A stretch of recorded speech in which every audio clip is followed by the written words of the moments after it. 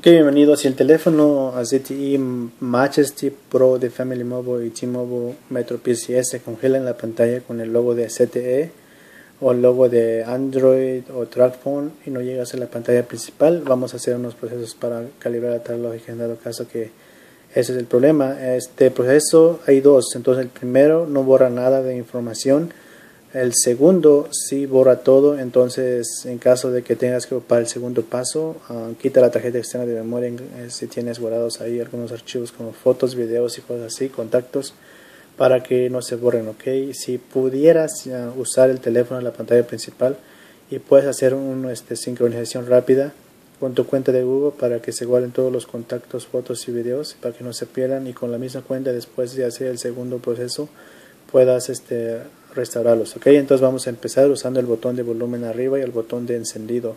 En cuanto vibra el teléfono vamos a soltar los dos botones y seguiremos de ahí. ¿ok? Volumen arriba y volumen de encendido. Ah, soltamos cuando vibra. Aparece el logo de CTE. Más esperamos unos cuantos segundos y nos da un menú con letras azules. Ahí está.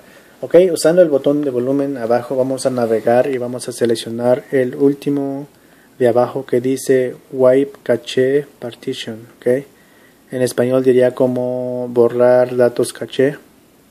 Entonces uh, vamos a presionar el botón de perdón, perdón, botón de encendido como Enter o OK.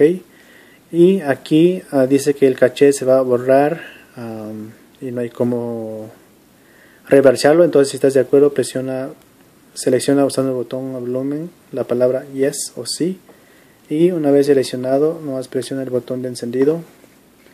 Y aquí el teléfono automáticamente selecciona reiniciar sistema ahora o reboot system now.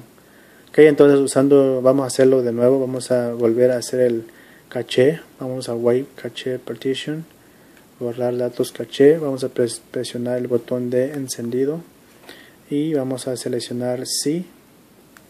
Ok como te dije este no borra ni una información en el teléfono pero el segundo sí. Entonces aquí vamos a reiniciar el dispositivo.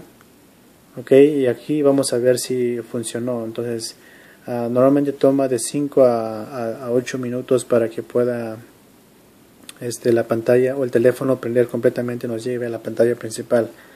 Uh, si nos lleva a la pantalla principal pues ya la hicimos si no, ah, vamos a tener que hacer el segundo proceso, ¿ok?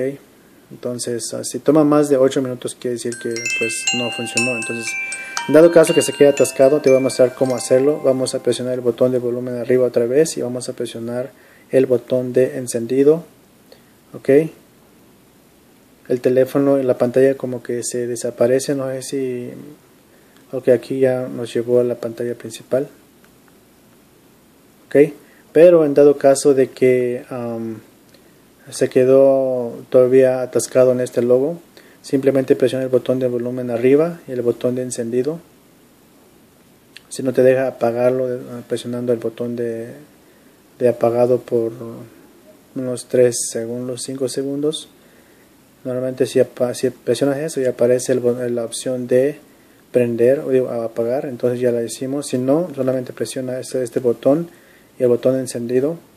Este entonces la pantalla se apaga y aparece la luz roja el teléfono vibra sueltas inmediatamente los dos botones y te da el menú que hicimos anteriormente ok entonces este en este caso está apagado normalmente el teléfono se apagó entonces vamos a empezar vibró el teléfono soltamos los dos botones volumen arriba y encendido y este nos va a dar otra vez el menú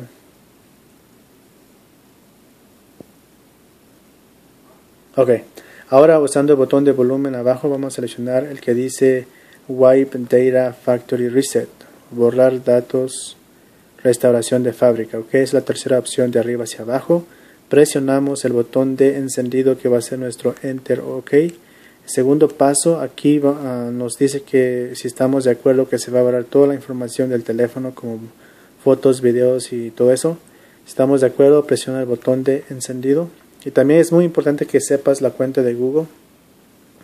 Porque va a haber un paso que tienes que confirmar el correo y la contraseña. Si no, si no te lo sabes, no, no vas a llegar a la pantalla principal y este tu teléfono se va a bloquear permanentemente entonces aquí automáticamente selecciona reiniciar sistema ahora o reboot system now presiona el botón de encendido el teléfono se va a reiniciar ok entonces igual aquí toma 5 8 minutos para que te llegue a la pantalla principal si no te sigue dando en la pantalla principal vuelve a hacer el segundo proceso de borrar datos restauración de fábrica ok yo personalmente he arreglado varios teléfonos con ese problema, así que lo único que tienes que tener es paciencia, ¿ok? Si esto no funciona, haz otra vez hasta 5 o 10 veces este, para que calibres la tabla lógica o tabla madre que le llaman al, lo principal del teléfono este, y para que te funcione mejor, ¿ok? Entonces, este, espero que este video te haya servido, te haya ayudado, ojalá que puedas arreglarlo. Y ah, te invito a que te suscribas a mi canal, este, ya sea que quieres ofrecer alguna otra ayuda con este mismo modelo o otro modelo. Normalmente subo uh, modelo de teléfonos que están saliendo en el mercado. Entonces, este, déjame comentario alguna pregunta que tengas, ¿ok? Y gracias por escoger mi video.